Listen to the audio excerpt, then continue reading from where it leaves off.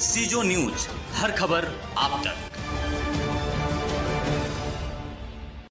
मुजफ्फरपुर जिला के कथैया थाना क्षेत्र में मंगलवार की देर रात एक बिजली ठेकेदार को गोली मारने की घटना सामने आई है। ठेकेदार का इलाज शहर के बैरिया स्थित माँ जानकी अस्पताल में चल रहा है। घटना के संबंध में बताया जाता है कि मंगलवार की देर रात सधनपुरा गाँव निवासी सनोज राय अपने घर में सोए हुए थे। इसी बीच गाँव के ही अशोक सहनी ठेकेदार के घर पहुंचकर उन्हें अपने साथ ले गया। इसके कुछ देर बाद ही परिजनों को सूचना मिली कि सनोज राय को गोली मार दी गई है। इसके बाद स्थानीय लोगों ने घायल अवस्था में सनोज राय को अस्पताल में भर्ती कराया। वहीं बुधवार की सुबह अस्पताल पहुँचे डीएसपी पश्चिमी कृष्ण मुरारी प्रसाद ने बताया कि घटना की जानकारी बुधवार की सुबह मिली है। गोली मारे जाने का कारण अभी तक स्पष्ट नहीं हो पाया है। पुलिस मामले की अनुसंधान में जुटी हुई है। घायल व्यक्ति के बयान दर्ज होने के बाद ही पुलिस आगे की कार्रवाई में जुटेगी। जी क्या घटना हुई है? घर पर वो सूते थे पलंग पर बुला के ले गया अशोक सहनी। ये सब लोग उधरे कहा वो अपना दूरा पर दरभंगी रह के दूरा पर ये सब कांड किया। जब आवाज़ दिया तो हम कहें जो कथी है हम गए वहाँ। तो हमको लोग ना मुँह दाब के कहा जो नहीं कुछ हुआ है नहीं कुछ। तो हम अब अकेला वाला बात औरत वाला बात हम भाग एगो हमारा बेटा गया था ये भी मार के मिल गया दी। कुछो नहीं हुआ सर कुछ नहीं। ये इलेक्ट्रिक का ठेकेदारी करते डीमापुर में रहते। अब कौन? अशोक सैनी मलाह है उनको भी लोग भेजा। अथी तीसरा अथी तीसरा है अशोक राय ये सब उनको साथ ही में था। ये सब भेजा। कुछ हो नहीं। कुछ दुश्मनी उसे हो नहीं था सर। कुछो नहीं ये सब हत्या करने। ये सोचे जो दू, चार टेलर अब के कमा के ईंटा गिराए हैं। मुखिया जी। आए, हमरा के तभी देखा हूँ ना दे रहा सर। हमरा के तो चार बजे हमर दिया दिन कहला खत्म पागल हो गए लगली है कल मेरे पास जो है आया पेशेंट नाइट में और जब हम देखे कि उसको काफ़ी ब्लीडिंग हो रहा है और एक गोली लगा हुआ है उसको।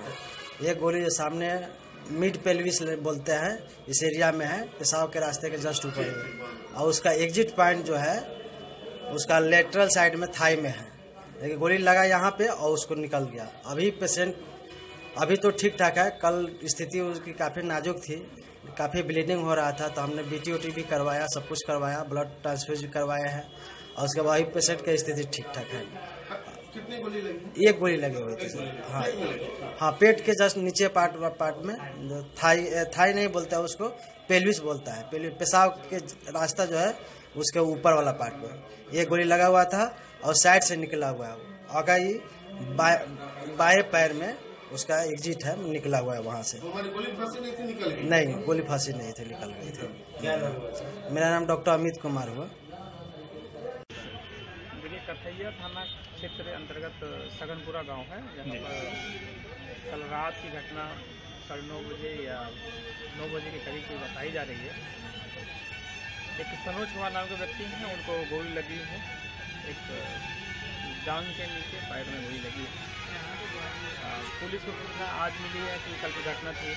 पुलिस को सूचना आज मिली है और किसी अन्य सोर्स से मिली है।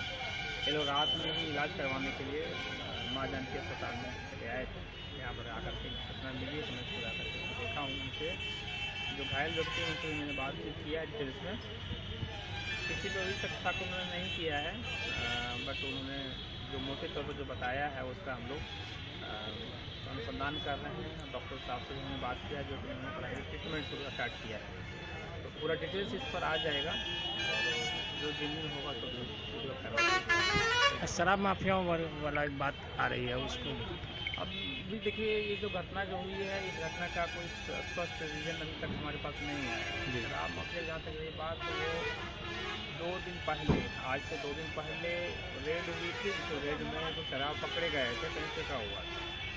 तो ये घटना अलग घटना है वो घटना अलग थी।